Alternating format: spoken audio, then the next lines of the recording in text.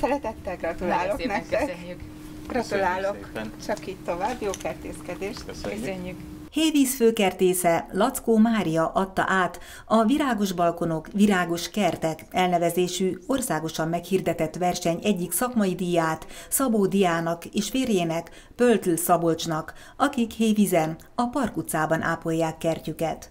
A versenyben szakmai és közönségdíjakat is osztottak ki balkon és kert kategóriában egyaránt, melyekre hazánk minden megyéjéből érkezett pályázat.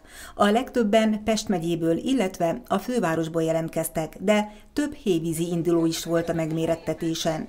Végül a legjobb előkerti egzotikus növényalkalmazás kategóriájának első helyezését egy helyi család nyerte el. Gyakorlatilag mi minden este azért itt lent vagyunk a kertbe, tehát nekünk ez egy ilyen családi program, hogyha úgy tetszik. A kislányom, aki öt éves, ő a fő öntöző gondnoka a kertnek, tehát ő minden este hozza a kis öntözőkannáját, és ha kell, ha nem végig öntözünk mindent. Gyakorlatilag a férjem és én vagyunk azok, akik ö, próbáljuk ö, gondját viselni a kertnek. Általában a nagy dolgokat szoktam én végrehajtani, hátul mondjuk a fűnyírás, sövényvágás, elől az örökzöld növényeknek a formára vágása, De van segítség szakértőtől is, aki negyedévente a kert megtekintése alapján látja el a családot tanáccsal. Még Dia édesanyja álmodta meg sok-sok évvel ezelőtt ezt a kertet ilyennek, ami a nagynevű hévízi kertészmérnök füzesi család munkáját dicséri.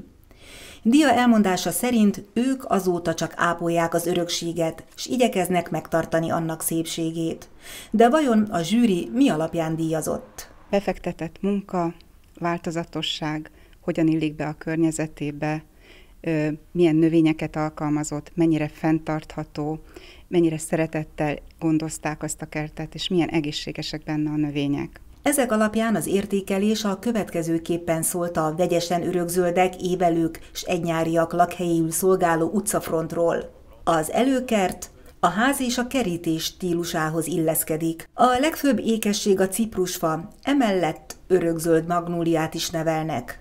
A kert ápolt, gondozott, hozzájárul a rendezett, virágos utcaképhez. A Virágos Magyarország verseny közel 30 éves múltra tekint vissza.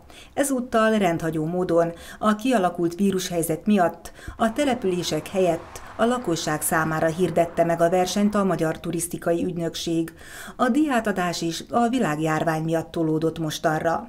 A cél az volt, hogy az egyén a saját környezete szépítésével járuljon hozzá saját települése, ezáltal egész Magyarország turisztikai értékéhez.